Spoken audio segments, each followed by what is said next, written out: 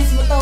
Wow! Dito sa Top Secret, nagkaroon ako ng time freedom. Kumikita habang kasama ang pamilya. Ay, grabe! Sa loob ng anim na araw ng pagtuturo ng CEO, nagawa kong maging stocking.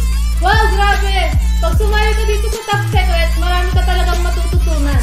Sobrang sarap po dito sa Top Secret, hindi ka nakikita, mababago mo pa yung sarili mo. I'm so blessed. Bakit? Dito kasi sa Top Secret, my dreams become